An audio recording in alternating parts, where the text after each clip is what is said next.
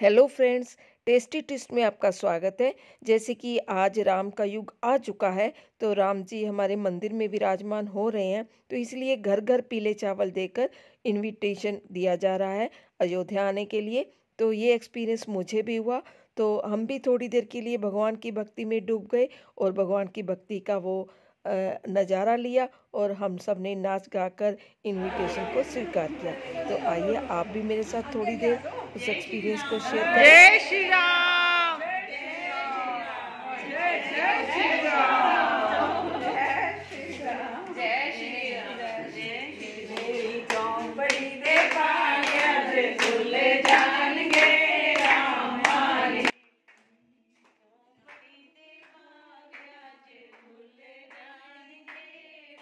सीताय राम।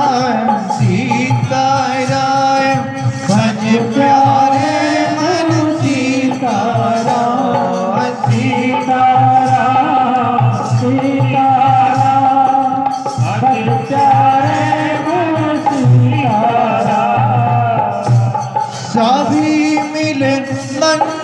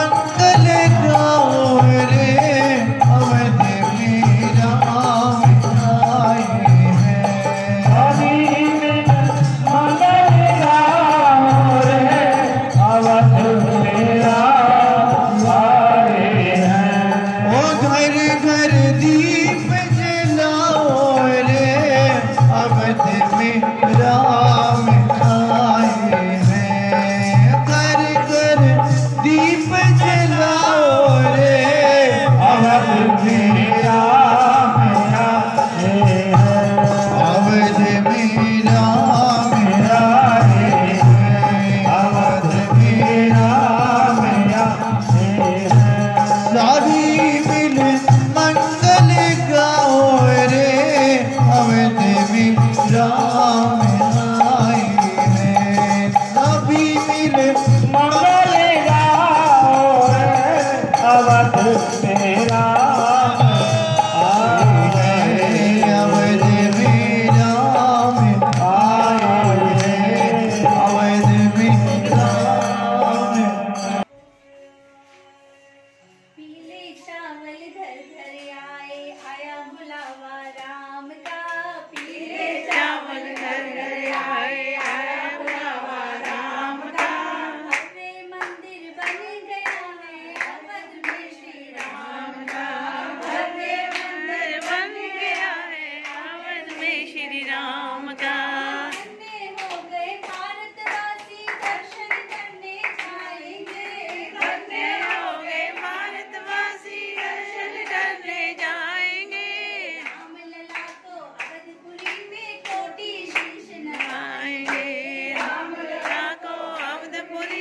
कोटि शीश निभाएँगे।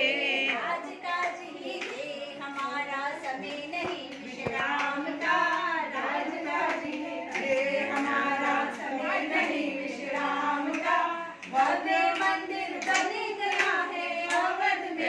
भव्य